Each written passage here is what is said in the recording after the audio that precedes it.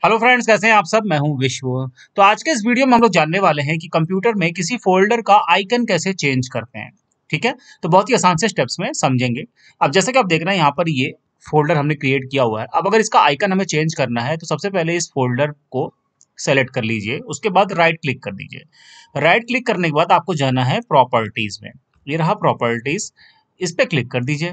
तो ये देखिए छोटा सा विंडो ओपन हो जाएगा। मतलब इस फोल्डर की प्रॉपर्टी का छोटा सा विंडो यहाँ पर ओपन हो गया। अब यहाँ पर हमको जाना है कस्टमाइज पे। ये रहा कस्टमाइज इस पर क्लिक कर दीजिए। ठीक है? कस्टमाइज के बाद यहाँ नीचे देखिए, ये है चेंज आइकन का ऑप्शन इस पर क्लिक करिए तो ये आपके सामने कई सारे आइकन शो कर देगा। आप चाहें तो यहाँ से और भी आइकन ऐसे स्क्रॉल कर सकते हैं। ठीक है? अब जो भी आपको पसंद हो फॉर एग्जांपल अगर मान लीजिए कि हमें ये ट्री वाला, पेड़ वाला चाहिए तो हमने इसको सेलेक्ट किया। उसके बाद यहाँ से ओके पे क्लिक किया।